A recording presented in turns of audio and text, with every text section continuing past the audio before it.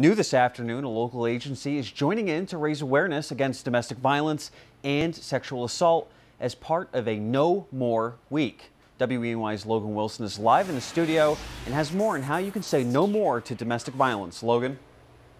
Nick, No More Week is a national effort to engage people, organizations, and corporations to say no more to domestic violence and sexual assault. Here in the Twin Tiers, the First Step Victim Services Department of Catholic Charities in Schuyler County is hosting an awareness event for members of the community to make their own No More statement. One in three women and one in four men experience violence from their partners in their lifetimes, and 64% of Americans say if we talk more about domestic violence and sexual assault, it would make it easier to help someone.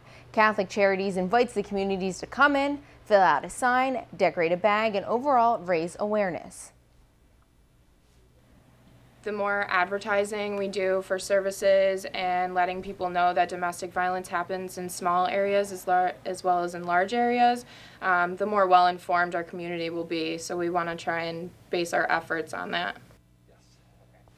The event goes until 3 today at the organization's offices on North Franklin Street. If you can't make it today, no worries. Share your No More statement on social media by using the hashtag No More Week. And for more information on First Step Services for Domestic Violence, head to our website, WENY.com, and click on this story. In the studio, Logan Wilson, WENY News.